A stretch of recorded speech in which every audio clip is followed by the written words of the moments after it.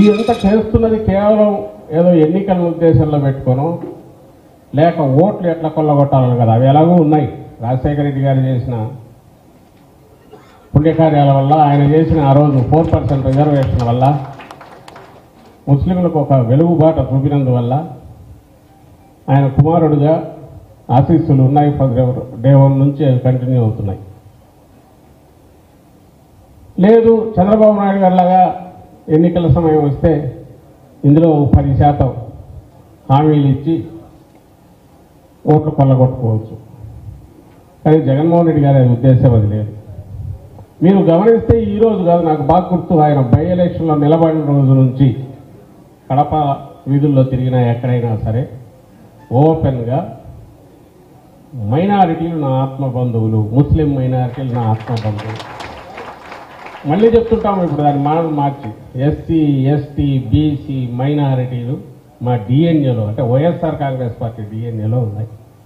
అది లేకుండా వైఎస్ఆర్ కాంగ్రెస్ పార్టీ లేదు.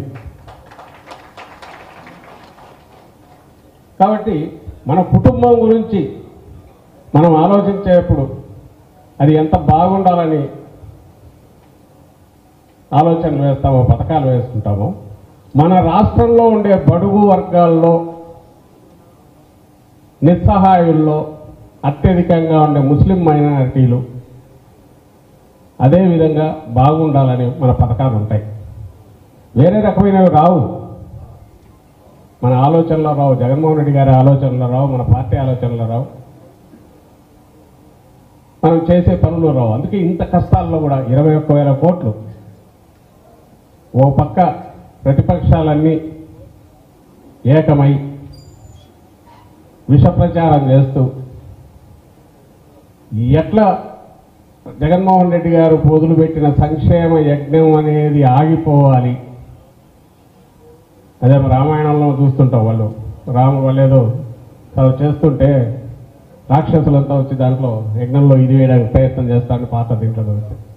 ఆ రకమైన ప్రయత్నాలు వాళ్ళు ఎంతవరకు పోతున్నారో మీరందరూ మిగతా పార్టీ నాయకులు మీకు తెలుసు. సెంటర్కి రాస్తున్నారు.